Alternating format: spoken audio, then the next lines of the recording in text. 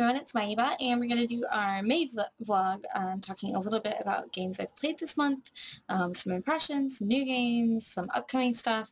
Uh, I'm going to do uh, also my March Ask Maggi, which kind of stinks that I waited this long because I really love doing these, and by now I should have more questions, but I never got around to filming these, or I, I technically filmed them twice and then didn't post them, so I'm excited to share them with you now.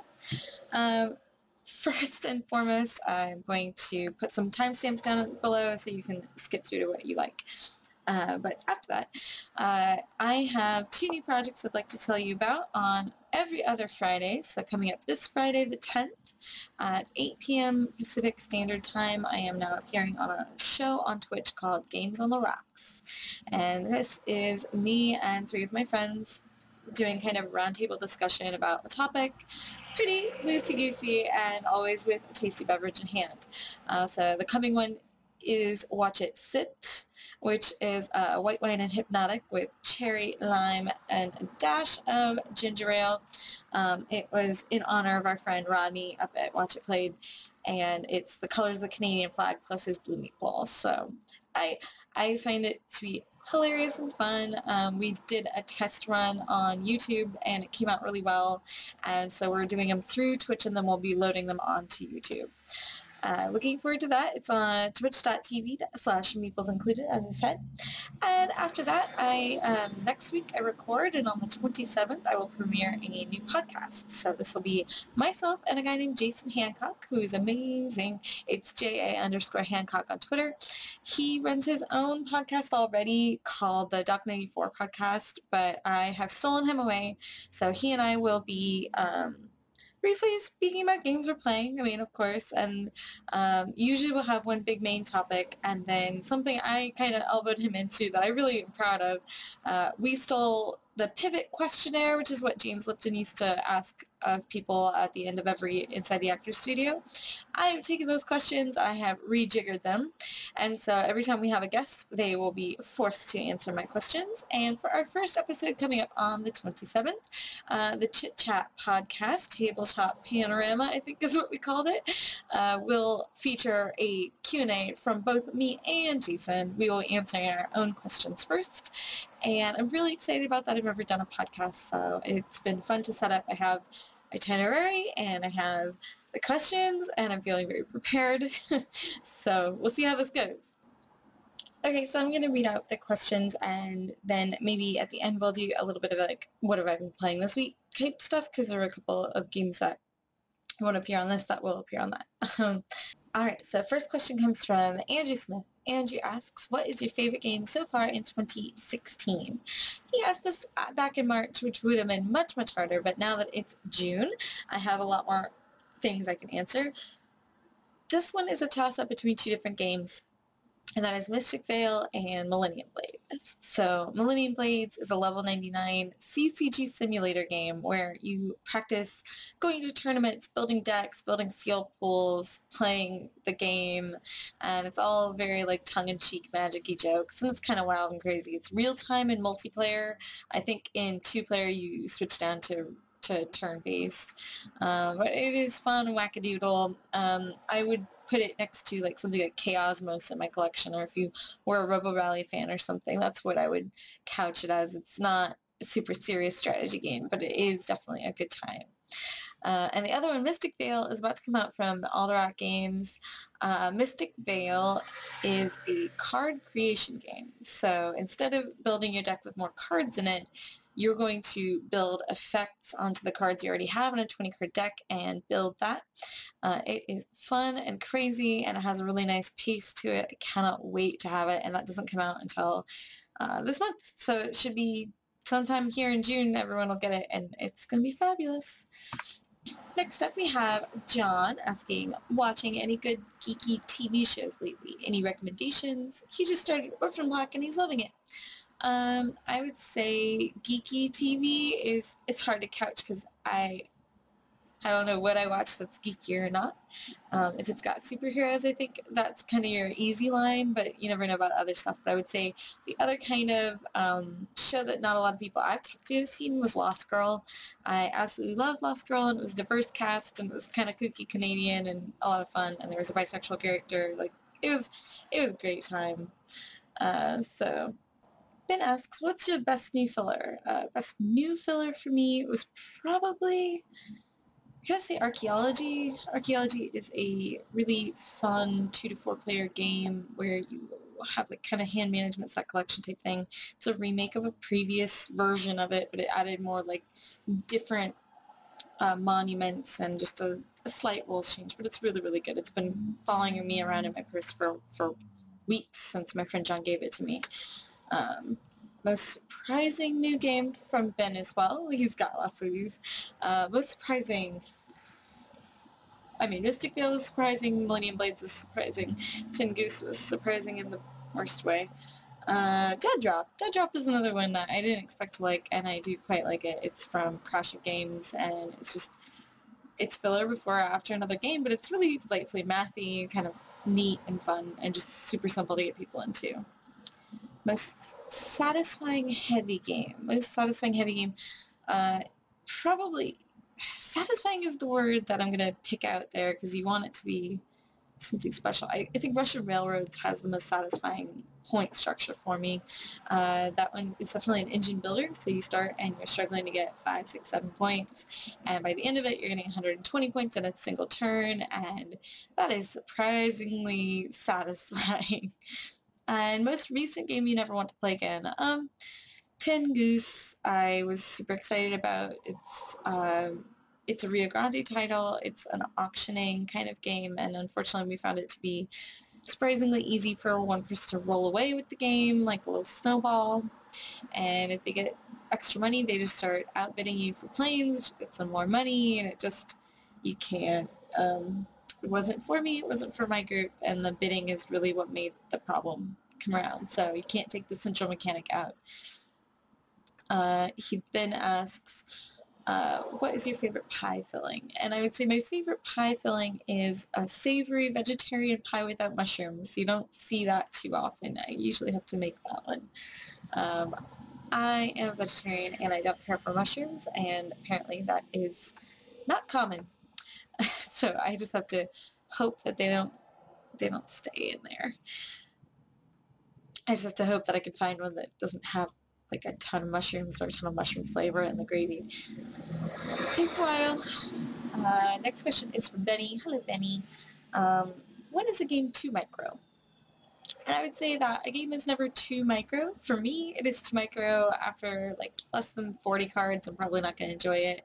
Um, I don't like my micro games that micro, but uh, I'd say the micro game I played the most of was Province. I liked Province. It was kind of this neat little single meeple worker placement game, but I wanted the deluxe version. I would have loved it because that game was just so. It was ten dollars, but it, the components were awful. Um, I would have much rather had the twenty-five dollar one that didn't fund recently. So I really like the game though. Um, Brendan asks, any plans to record playthroughs of some games, tutorials, etc.? Um, eh, there are no definite plans at all for anything. At this point, I just plan what I'm going to do that day, whatever I feel like. Uh, I may go back to tutorials of playthroughs, but I found that they don't quite work with my conversational style. I'd much rather just vlog and um, talk at you and you can just tune in and listen. um, if I go back to playthroughs, I'm going to have to find a way to do it my own way, and I don't know that there's too many ways to reinvent that wheel. Uh, I will let Rodney Smith and uh, Paul Grogan and whomever else wants to do playthroughs and I'll do everything else. Um, Chris, uh, who I think I have three questions from Chris. He asks, uh, what are some games you're eager to see get U.S. distribution?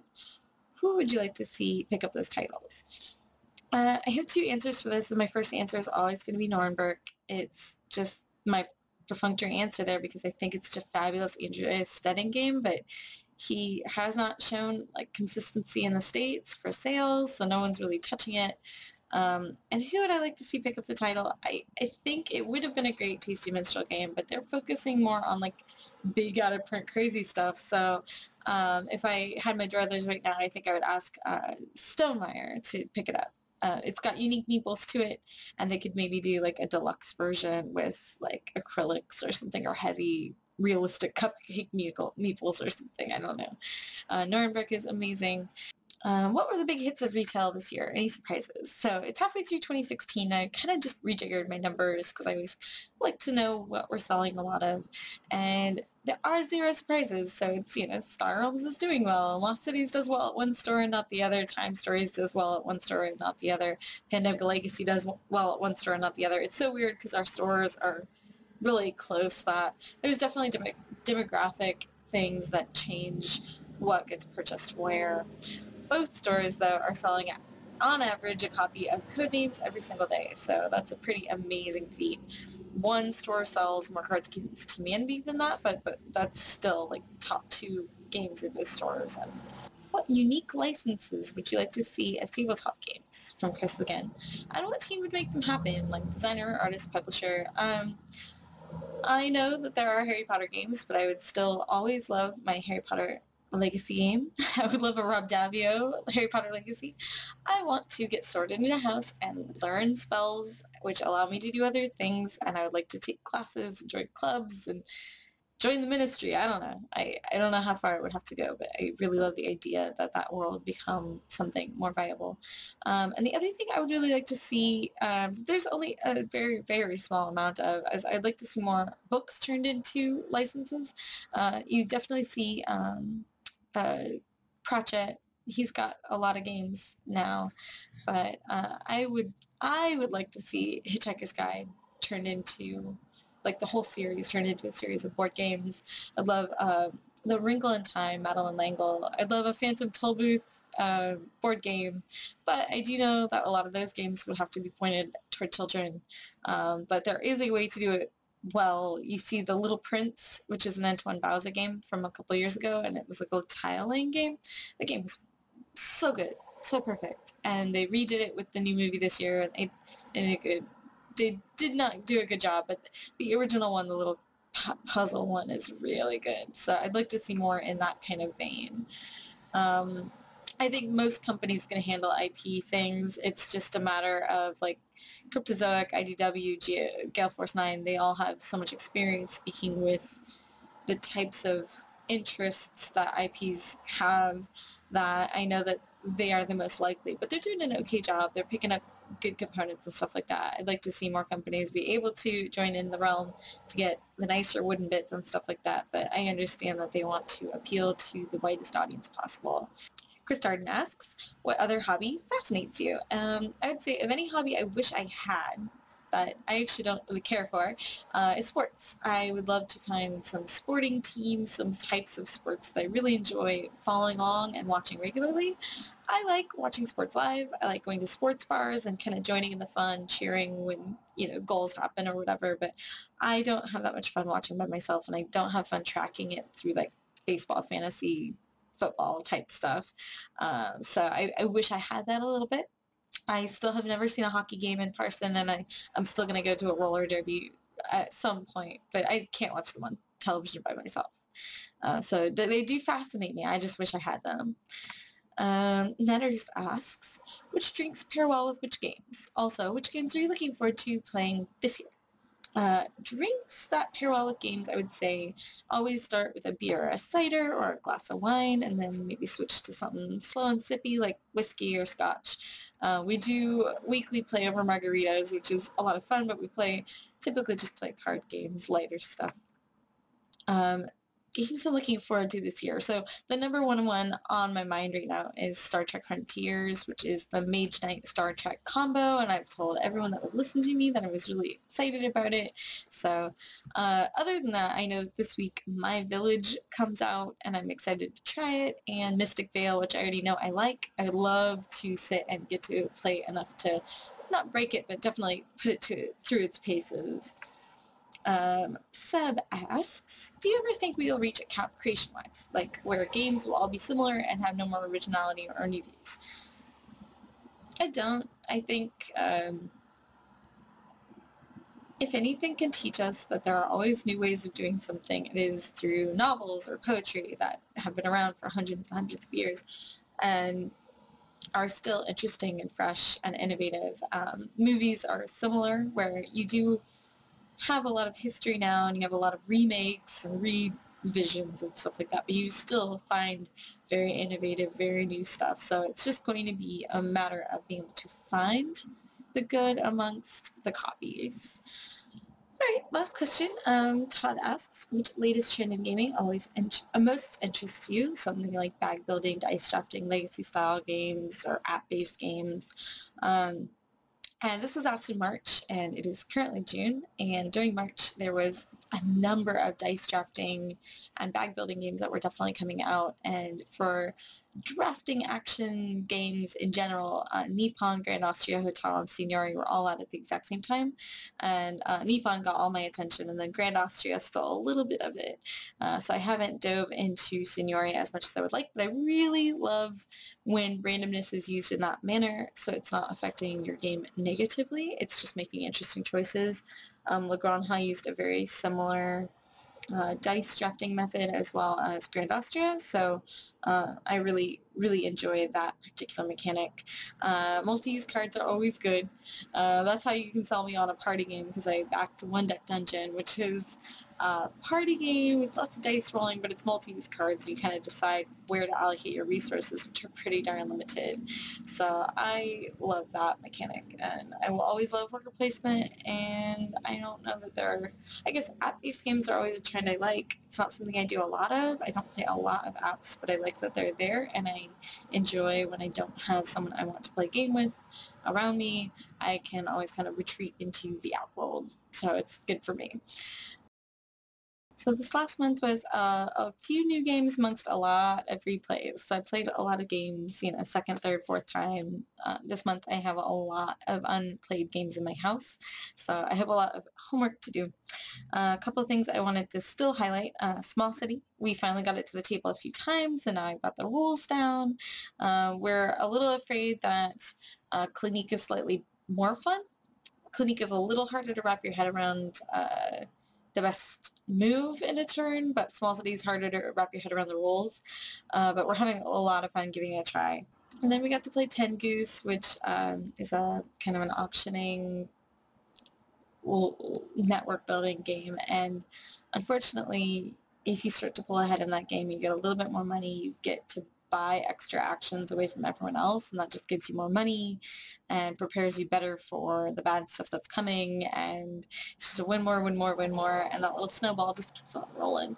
So uh, it was my biggest disappointment. I am taking it to the board game swap in uh, late June here and uh, hoping that someone else is curious because it's definitely loved or hated on the internet right now. I didn't care for it, but someone might. I try not to give away games I don't see any value to. I just, um, I am bringing games that just don't work for me and mine. Um, and uh, we replayed Dilluvia project as well, and it still holds up. No matter how many times I play the game, even though it's kind of samey from game to game, it's still really fun, meaty, good, interactive, perfect. Um, we had kind of a more laissez-faire type game on our hands where everyone kind of got to build their own thing out, but it was it was a really good time. Uh, so any day now, I will have a game of Mars against uh, Mars Needs Mechanics, and I would very much like to get some more Small City on the table, and once I get Mystic Vale, I will be having fun with that one as well. Uh, I have a new show, Games on the Rocks, on the 10th of June at 8 p.m. Pacific Standard Time, twitch.tv slash meeples included.